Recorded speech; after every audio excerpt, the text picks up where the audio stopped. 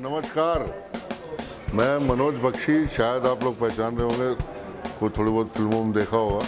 मैं आपके मुरादाबाद शहर में आया हूँ, इसलिए कि ये फ़िल्म बेलगाम यहाँ पे पूरे शहर में रिलीज़ हो रही है ऑल ओवर इंडिया वैसे रिलीज़ हो रही तो और बड़ी मेहनत की है इन्होंने लोकल लोग हैं, इन्होंने मेहनत की और आप बॉम्बे की तो फ़िल्में देखते ही हैं।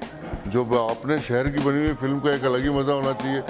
और बहुत जल्दी यहाँ पे वर्कशॉप शुरू होने वाली है एडिटिंग की और सिनेमाटोग्राफी की जो कि आप सब उसमें अपने बच्चों को भेज के उनको शिक्षा प्रदान कर, करवा सकते हैं।